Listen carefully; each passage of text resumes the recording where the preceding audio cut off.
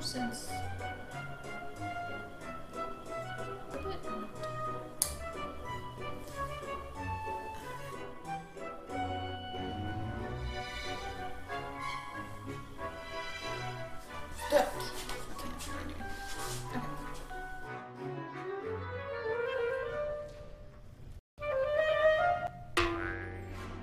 Hi everybody, welcome back to Bentley House. I'm Ara and today I am working on the Addams family house. More specifically, I'm working on Uncle Fester's room. The rest of the house is pretty much stocked with a lot of miniatures, but there's nothing really for his room because I didn't originally plan to create it. So today I'm going to show you how I make just a couple things. It's kind of a hodgepodge of things I need to make. And then I'm going to be pulling from my personal stash of random miniatures I have collected over the years to kind of fill up some space in his room.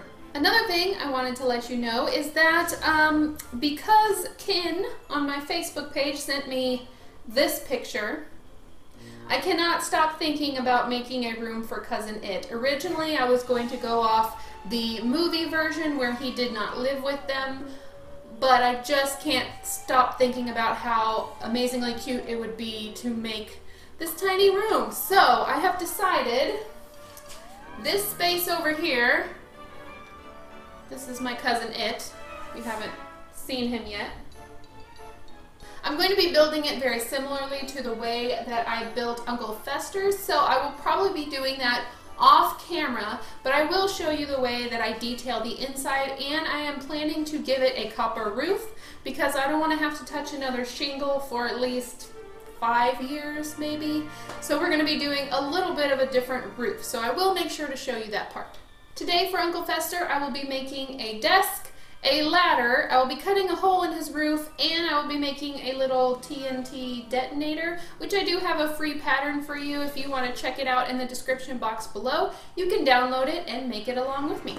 So let's get started. I'm going to start off creating Fester's desk. Now I'm not doing a completely exact tutorial here because I'm fitting it into a weird space, but I'm going to show you roughly what I'm doing. I'm using balsa wood that's about a quarter inch thick and two pieces of basswood. One of them is a quarter inch by an eighth inch, and the other one is a half inch by half inch dowel.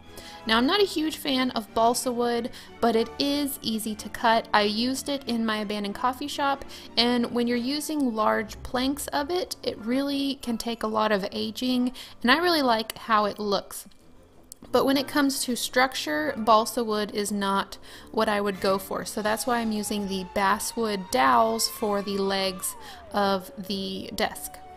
So I'm just cutting some gouges into it. I'm making sure that I'm rounding off the sides of the table and in the top of the, because this is going to be Fester's desk, I'm just cutting some gouges to make it look like maybe some explosions went off. You never know.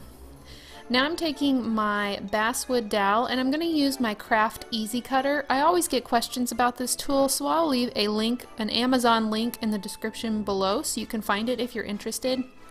Makes it really really easy to cut basswood dowels. So what I'm using the basswood for is to create a frame on the bottom of the desk. Usually desktops, especially if they're made out of wood, they have some kind of frame underneath. This is also going to make it easier for me to attach the legs and use enough glue so that I'm certain it will not, uh, the legs won't break off easily. So I'm just kind of eyeballing it. Again, this is for Uncle Fester, so perfection is not really what we're going for here. Once I have a rectangular frame on the bottom of the desk, I am going to be cutting these legs so that from the uh, floor to the top of the desk is about 3 inches, which is a typical standing height desk. And then I'm going to be taking my X-Acto knife to the edge of the basswood dowel, and I'm just going to be cutting down um, the sharp corners to make it look like they've been worn uh, year after year. Now I'm just adding some glue in the corner and I'm going to stick that basswood dowel right into the glue. If you're going to be using stain for this, you want to be super careful about where the glue goes, but I'm going to be using acrylic paint, so I'm not being really careful with the glue. Um, so just keep in mind what material you're going to be using. I'm only putting two legs on this desk because it's going up against a slanted wall and I will show you a picture of that in a second but um, you can add four legs if you want to try this out and um, have it sit level on the floor. Right now I'm adding a shelf to the lower level of the desk and so I'm just measuring things out and I'm cutting a square on each corner so that I can carefully fit it up against the legs and put glue there so I know that the shelf will stay put. So this is how it will kind of glue in and you can see that there is that slant from the back of the desk to the back of the shelf. Again, when I show you the picture of how it sits inside of Uncle Fester's attic room, it will make a little bit more sense. Like I said, this is why I'm not doing a tutorial on this because it really only fits this specific room. So I am using acrylic paint. Like I said, I didn't have to be super careful about where that glue goes, but if you do decide to use stain, stain will not go on top of glue and it will leave a very uneven look. So I personally use acrylic paint more than stain because it doesn't smell and uh, you can water it down and get just the same amount of effects that you can get with stain I've found. Other people may have a different opinion, that's just how I feel. Now, of course, I need to age it. This is Uncle Fester's desk, so there's probably been all sorts of who knows what going on on that desk as far as uh, experiments and all sorts of things. So I'm going to give it a good amount of aging, some pretty obvious aging, and uh, using different colors like black and um, some different types of brown. And then I'm also going to be taking this round, uh, it's like a little flower pot and this is one thing I like to do in my aging. If you want to make it look like there was something round sitting on a table that left a mark, say you want to make it look like there's coffee cup stains or paint, um, like paint bucket stains, you can use something round, dip it in paint, and then put it on your surface. I did find because the balsa wood is so porous, it kind of soaked up the paint and you can't really tell that it's a circle anymore. So you kind of have to play with that, especially if you're using balsa wood because that uh, paint color will spread. Now I'm going to be making a ladder for Uncle Fester's room, and I promise this will make sense once we get into his room. But ladders are fairly simple to make. They're kind of annoying to make, and so I was trying to find the best way to do this. This is a basswood square dowel that's, um, I think it's about an eighth inch by an eighth inch, and I went ahead and cut two lengths of the basswood that are the height of the ladder I want to make. And then I took another uh, dowel of basswood and then I cut a bunch of one inch lengths of the dowel. Did that make sense? I hope so. And so I'm just going to put it on some wax paper. This is the easiest way I have found to do this. And again, I'm eyeing it. As you can see, I have not lined it up with the clearly marked grid underneath my wax paper, which would probably make things easier. But if it's not straight, it'll match most of the other stuff in the Addams family house. Once I have one side of the rungs completely attached to one side of the ladder, I'm going to add some glue to the other side and then just line up the other long piece of the ladder. And then I'm going to set that on that wax paper to the side to dry completely. I do not want to touch it until it is completely dry because the whole thing will fall apart. I did find after I had done it this way, it was a fairly strong structure. I did go back and add a little bit of extra glue on those joints and uh, anywhere I felt it could use a little bit and then I painted the entire thing black. I did find this little miniature toolbox just randomly and I thought it'd be really cute. So now I actually need to cut a hole in Uncle Fester's room in order to add the ladder. I want some roof access here and I knew that when I started making Uncle Fester's room but I forgot I guess, halfway through. And so, luckily, if you haven't seen how I made Uncle Fester's room, I'll leave a link in um, the description box. But it is made out of foam board and mat board, and so it's fairly easy to cut through. I didn't, again, measure or make things straight, uh, but I just kind of eyeballed it. I've, I've found that with the Addams Family style that uh, works. It really does. And so I'm just kind of going with it. And uh, once I get the um, hole cut, I'm just going to go back and just fix up any edges that um, are a little bit too rough for my taste. Now that I have some exposed foam board, I'm going to take some wood glue. I'm just going to get a little bit on my finger and then I'm going to go over the surface of the foam board. This is going to give me a decent painting surface because I do want to fill that entire area in with black paint. And I could do brown as well, um, but I just decided to go with black for some reason. And eventually I will make the flap that goes on the roof, but I'm not doing that part yet. Now I want to make it look like there are some supports for this hole in the roof and it's not just a random hole. And so I'm adding in these little dowels and then I'm aging them just like I did the boards for the ceiling. So now um, I wanted to make some miniatures for Fester's room and this is a free download in the description box. You can check it out. It's a little TNT detonator box because he does a lot of um, explosives and stuff like that. And so I wanted to make one of these. It's real kind of cartoony looking, and I really like that about it. Um, I'm going to first take the piece that's marked bottom and I, I cut these out of 1 16th inch thick mat board which if you've been a part of my channel for a long time you know I make pretty much everything out of that. And then I'm going to take the piece marked front and I'm going to glue them in an L shape. Then I'm going to take the two side pieces and glue them uh, so that they are behind the front piece. And I'll show you a close-up look of that. It is fairly easy to put together. I mean, basically, it's just building a box. Pretty simple, but um, I thought it would just be a fun little download for you guys if you wanted to make one. So once you have the front and the two side pieces on, you should have something that looks like this. And then the back piece has this little hole in the bottom of it, and that's how you can know that it's the back piece. That's where we're going to have our wires coming out of the bottom. I'm going to glue that on, trying to make sure that my corners are staying as square as possible. And then our last piece, of course, is the top.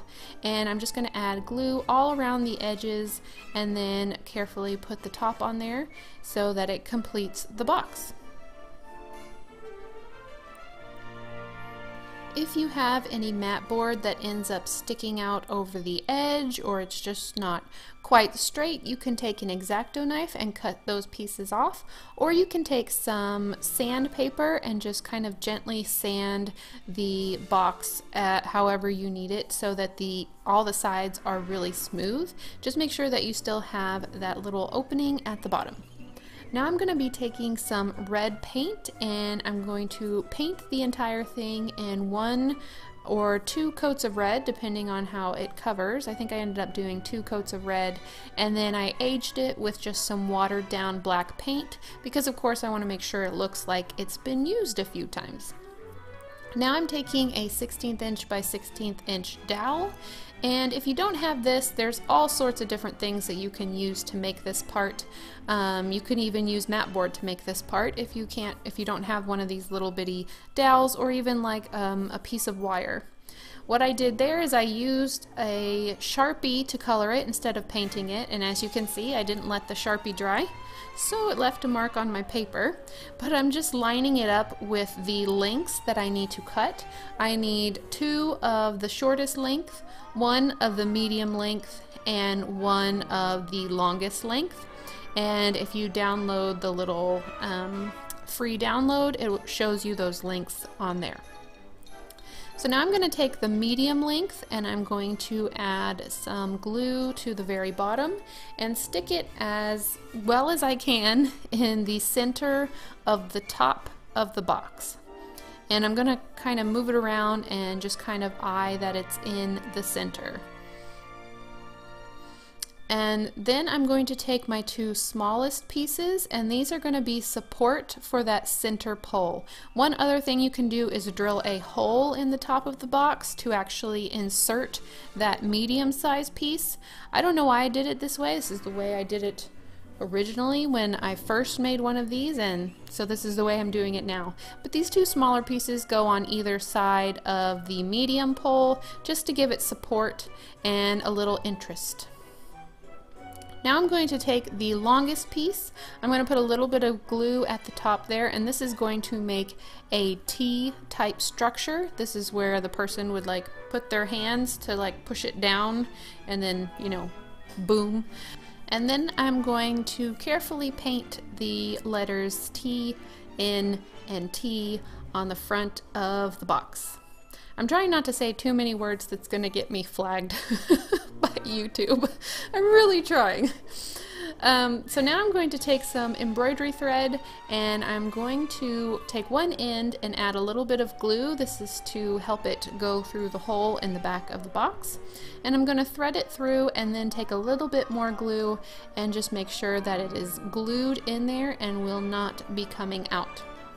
Because this is embroidery thread, it is where you can like split it. And so I split it into a couple pieces. You can kind of play with this whatever, however you like it to look. And um, just cut it to whatever length you want. You can even hook it up to something if you want. Um, and then I'm just going to use glue on any intersections and on the rest of the thread to set it how I want it to look. So it's time to go pick out some miniatures for Fester on the dark side of the room.